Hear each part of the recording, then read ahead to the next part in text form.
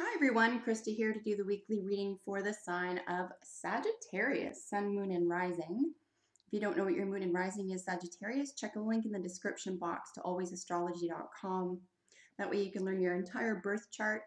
And there, if you want more information, you can look up your moon and rising sign readings for the week, in addition to your sun sign reading. This is for the week of June 27th to July 4th.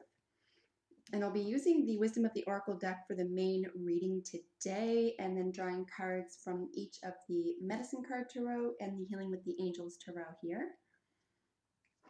This is a general reading, so whatever is most prominent in your life, I encourage you to imply these messages to, and I hope that you find them helpful and healing. I've been asking the question, what are general messages for your sign now for a couple of months since I began this, but I'm going to switch up the question a little bit this week, Sagittarius, and I will be asking, what does Sagittarius need to know this week? I find that it has a little bit of a different outcome here. It doesn't create, at least from my perspective, a sense of what you can expect uh, if you're going the way you're going. Instead, it will relay what you may not see or be aware of that you need to be knowledgeable about in order to move ahead to your highest good. So that's why I'm switching up the question a little bit, and I hope that you find that helpful. So Sagittarius, I wish for you all success, joy, and wellness. I call upon Archangels Michael, Gabriel, Metatron, and Uriel to guide this reading in peace, clarity, protection, and wisdom. And I ask that Gaia please bless this reading for Sagittarius. What does Sagittarius need to know this week?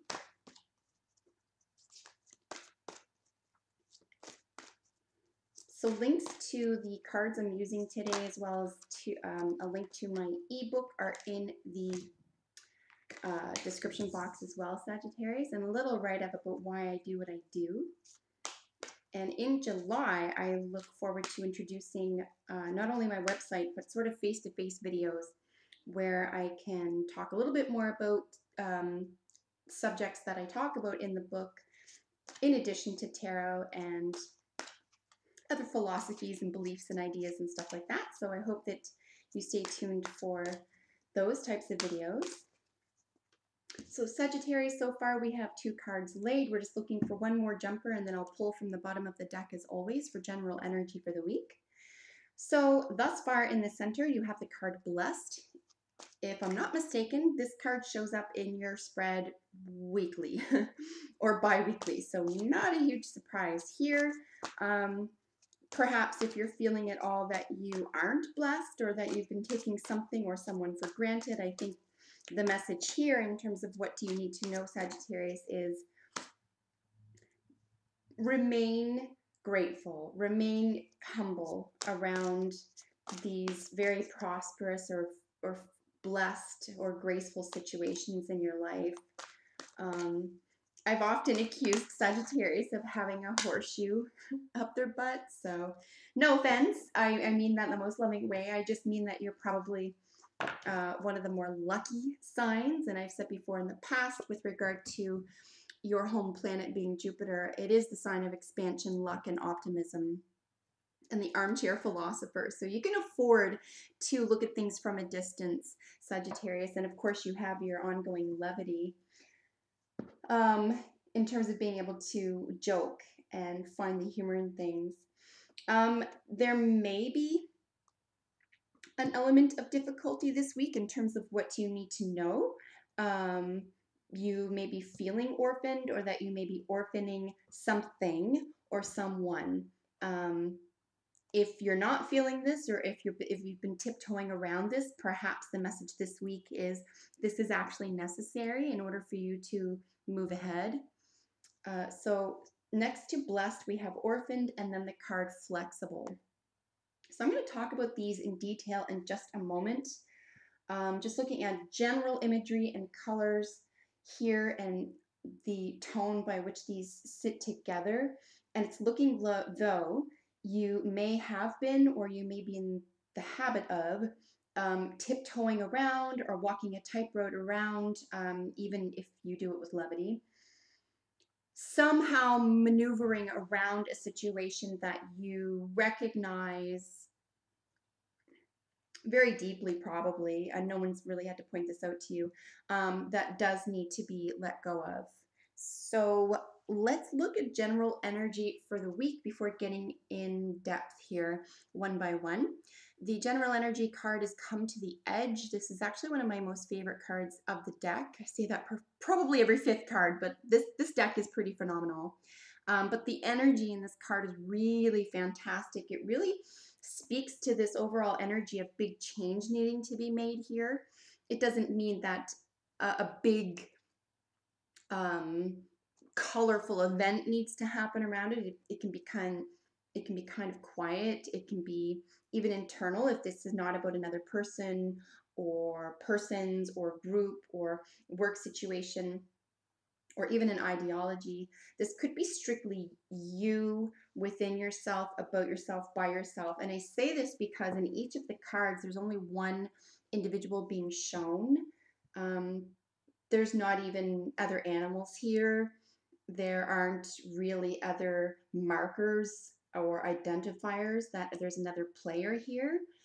Um, so I think this is something that's really strictly unique to you, and it might be the first time in a long time that you may be feeling this. So Sagittarius, come to the edge basically means, and this is done with love, the only um, marker here outside of the levitating rock and the dancing, I used to think she was an angel, but I think she's a woman. Um, as in a human here. So she's dancing on the edge, but there are hearts everywhere. So, I mean, you're going to feel surrounded by love. You're going to feel as though you are in a safe place, that you have the room to move. This is a beautiful place to be, in fact, because you can do this with your eyes open and take a risk. There is such a thing as a calculated risk, right? Uh, and that's always the best one to take. But sitting still on something because you don't know what is at the end of it or you don't want to risk this jump, if you make a calculated decision at, at what lay at the end of that decision, I think you'll be pleasantly surprised that you'll still be surrounded by um, feelings of inclusion and respect, but you might feel a little bit even more love and respect for yourself. Perhaps that's what you feel missing in your life. And I think you have a lot to offer other people too. Other people may be watching how you're about to move and maneuver here with regard to this issue or concern. Ultimately, it's about risk, but calculated risk. In the central position, we have the blessed card. And like I said, this is the pink and the mauve automatically remind me of, a, of an ascension color. I think if you ever forget that you're blessed or that you ought to feel grateful in times of stress, that this is going to help remind you in terms of what do you need to know. Start from this place. If you come from this place, I think everything else is going to sort of situate itself rather nicely for you, um, particularly if it's a calculated decision here and it's done out of love. Uh, another uh, example here with regard to another zodiac sign could be a Capricorn. You could be up against or working with a Capricorn, or you could be learning from or having to teach a Capricorn okay? Or Capricornic um, um, personality traits, right? Someone who would be considered serious, very mature, a little bit cold, um, but extremely knowledgeable and uh, at arm's length. Okay, so anything like that might be happening this week in terms of those themes. Here with the orphaned card, I think there is a great deal of letting go this week for the majority of zodiac signs. I mean, I'm almost through the entire zodiac here, and this is not the first time this jumped in uh, the cards this week. So I think that there's a great deal of letting go, and what a beautiful time to do it in the first week of the summer solstice. Um, we can let go of things that don't work for us anymore, and sometimes it takes a season for us to wrap our heads around it too, right? That we have to be reminded almost externally or by um, you know externalities um, to us bring us to places we wouldn't bring ourselves so if that's the case treat that as a blessing as well uh, but a decision does need to be made around like i said either letting go of the feeling of um, being orphaned or literally being in a position to orphan an idea, concept, or even person or persons who no longer belong in this sphere. This is a chance that you will have to take. And I and I think the outcome will be very, very positive for you if you remain flexible in this situation. And by that, I just mean give the other person room to speak for him or herself. If this is about another person, certainly if it's about an idea, concept, or a group of people, same thing. Um, I think they deserve to be heard. Perhaps this is a conversation that requires honesty from both sides before a decision is made. And perhaps the decision will be made by the other person or, or the ideology or the concept will drop off the face of the earth because it no longer holds water too.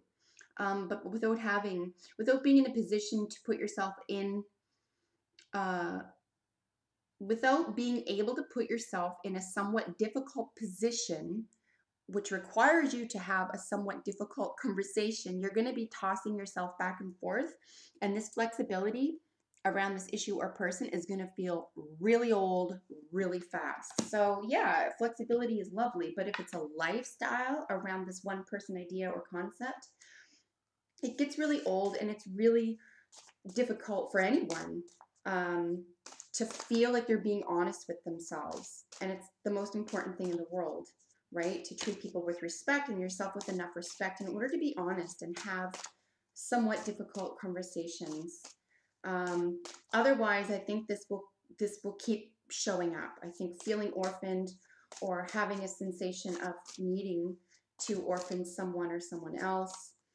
uh, or, or a concept, etc., will keep showing up. Um, this might even feel like a difficult week for you, Sagittarius, or it could feel like there is an overarchingly difficult day this week that you don't normally have to confront again with the Corp, uh, Capricornic energy here. Um, the card, the artwork, the terms are sort of polar to the imagery, um, but I do think that this is a lesson. This is if you're not feeling blessed, it's going to be really easy to get dragged down. And if you don't let yourself make a decision by being brave enough to make that calculated decision. I don't think anyone wins here. So uh, it's it's time to be brave, Sagittarius. So with the grouse here, we have the sacred spiral. This is something, like I said, that's going to feel like it's going to go over and over and over until you get to the root of it. It could be an, a long standing, whatever it is, whatever this decision you need to come to the edge about, it could be extremely long standing. It could be a family issue. It could be some about something that you grew up with. It could be a family member, him or herself. Um, we have a couple of jumpers there. I'm looking for one. Um, we've got several more. These are, oh, hold on now. All right. They were just flipping and flopping. Let's just get one more card for you here, Sagittarius. Um, yeah, if if you are feeling a little bit even overwhelmed this week, um, most other signs I would say look within, go within, but I think as an effervescent, outward moving, right, planet, planet of expansion sign, I think you might um, uh, you might benefit from hearing from other people. And if that's not in person, maybe that's on the internet or something you read in a, an article or a book, etc. Um, but it, it, you could benefit great, more greatly uh, from someone else's opinion or attitude or state of mind or position, what have you. Coming to the edge could just mean opening yourself up to someone else to discuss this. Yep a ton there. Holy smokes. All right, we're just looking for one more. Sorry, folks, this was supposed to be under 12 minutes. Um, just looking for one more. I'm going to shuffle three more times. If we don't get one, I'm just going to pull one from the top. Here we go. Here we go. So answered prayer. You could feel as though, and I don't know if this is necessarily a great way to go about it. You could feel as though the other person makes the first move, or the or the concept dies on its own, or the other group of people take their leave, etc. Um, but I don't think that's the best way to learn from this. I think, in terms of what do you need to know, your answered prayer is about taking action here. I think that you are part and parcel of growing from this experience. It's not just for everyone else to learn from, okay? That you're responsible for learning from this experience as well. So have faith in yourself that you can do this as well. And have faith that you can get to the root of this without getting, you know, without sparring with somebody or um, sort of making enemies or or feeling as though nothing will turn out or that they themselves are not in a similar position. Perhaps this is something that needs to come to a head and uh, everyone would be better off uh, if you were the one to confront it head on. So I hope that this makes sense to you. If you have a moment, please comment below. Let me know how this works out for you or if this makes sense for you. Um, if you're not already, make sure you subscribe. I upload videos for your sign every week. And that concludes your reading, Sagittarius. Thank you so much for joining me today, and I look forward to seeing you next time. Bye for now.